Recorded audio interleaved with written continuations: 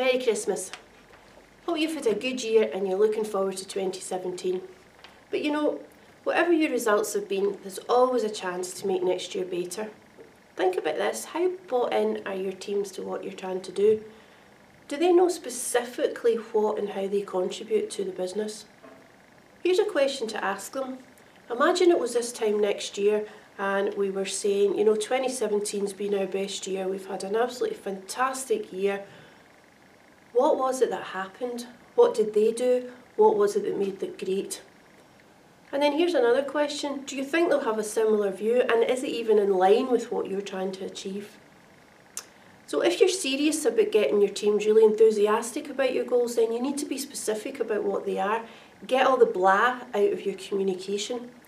Show them how they contribute and build energy and personal emotional connection with your goals. What's the big three outcomes that would really make a difference to your business in 2017? Start the year with a team who are excited about the company Big Three, and then they've even got their own Big Three that clearly shows them what they're bringing to the party. So have a great Christmas, and here's to a fantastic 2017.